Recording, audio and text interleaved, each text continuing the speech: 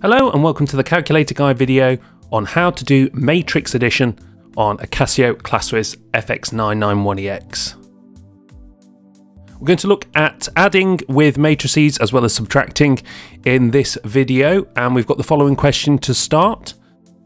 For the matrices A, B and C, find and then we've got A is A plus B, part B is C minus A and part C is B plus C. And there is a part D as well that we'll deal with a little bit later, but let's just concentrate on these first.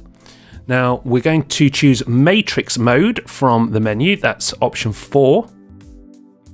And we've got to start off here by defining a matrix. So let's just start off with matrix A, so press one. And then we're prompted for the number of rows and the number of columns. While all three matrices that we're using in this question are 2 by 2 matrices, so it's two rows and two columns, and you can see that we've got the entry template set up for us here. So let's just input matrix A, so it's 0, 2, 4, 0. And once we're at the point where we've entered matrix A, what we want to do is to press option, and we'll be pressing option quite a few times in this video and we want to define the other matrices that we have. So one here for define matrix, and this time we're going to select two for matrix B, and once again it's two rows and two columns, and again we just need to write in matrix B in here, 1, 1, negative 2 and 0. Option once more, define matrix, and let's define our final matrix, matrix C, two rows, two columns, and then we're inputting the figures from there 0, 3, 8, and negative 6. Okay, so once we're done defining the three matrices we have, we can then actually do the calculations that we have. Once again, if you press Option, and then we want to select 3 for Matrix Calc, so this will enable us to do calculations with the matrices we've just entered. And once again, it's Option, and you can see that from 3 to 6, we've got the option of working with any of the matrices that we've inputted. We've not used matrix D just yet, but part A of the question asks us to do A plus B. So we're going to start off with matrix A, so that's 3, and then plus, and then option, and then 4 for matrix B. Press equals, and then we've got those two added together. So A plus B is going to give us 1, 3, 2, 0. Okay, let's do part B, C minus A. So it's option 5 for matrix C, subtract, and then option, and then 3 for matrix A equals, and here we have our answer. And then once more for the final bit there, option, and then 4 for matrix B, and then plus option, and then 5 for matrix C, and that adds matrix B and C together. So there we go, pretty straightforward to do the calculations once we've defined the matrices that we have. Let's have a look at part D of this same question. So this will still be using A and B from the first part of the question, but then we've got matrix M as well involved here. So a matrix M equals, and then we've got 5x, y, 6. So there's two missing values in there and we have to find the values of x and y if a plus m equals 5526.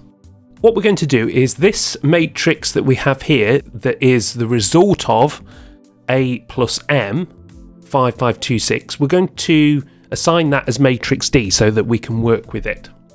So if you press option and one define matrix, we've got a spare matrix here, matrix D 4 it's two rows and two columns again, and so if we input this answer, if you like, 5526 from A plus M, and we'll call that matrix D, this will help us to work backwards to find out what matrix M is. So if A plus M equals D, then D minus A will equal M, and we'll be able to find out what the missing values of X and Y are. So if we put in the calculation matrix D, so option 6, subtract matrix A, so option 3.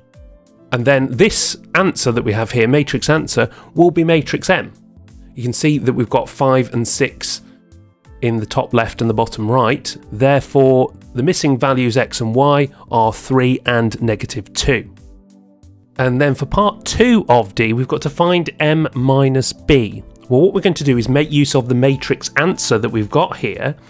Currently, what's stored in the matrix answer, which will change each time we produce the answer for a calculation, well, we've still got matrix M in there. Matrix answer equals matrix M at the moment.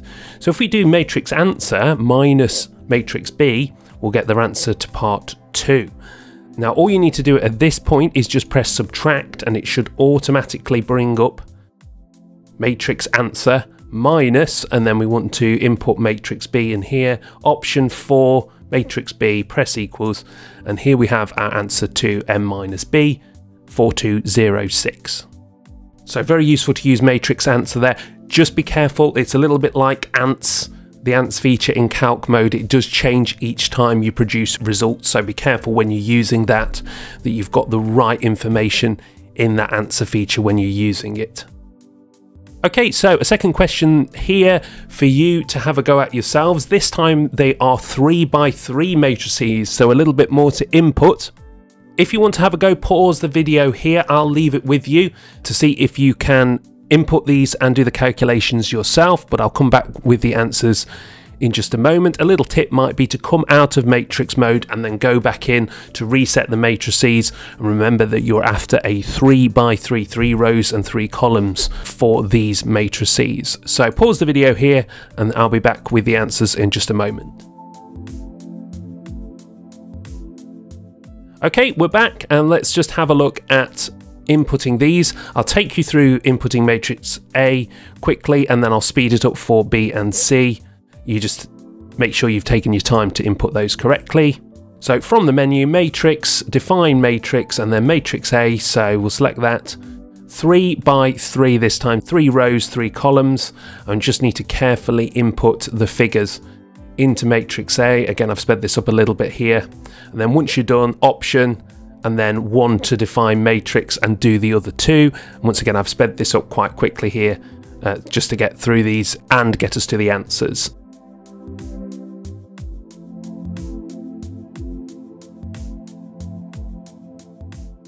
So once your matrices are defined, it's option and matrix calc. And then the first one we've got is A plus C. So it's option 3 matrix A plus option 5 matrix C, press equals. We've got A plus C as our answer here, so just check that off. B is B minus C, so it's option 4 for matrix B minus option 5 for matrix C equals, and we've got our answer. And finally, we're adding all three matrices together, A plus B plus C, and this is going to be our solution to that one. So there we go, how we can do matrix addition and indeed subtraction on a Casio ClassWiz FX991EX. Don't forget to like and subscribe for future videos, but that's it for this video. Thank you very much for watching and I shall see you next time on the Calculator Guide.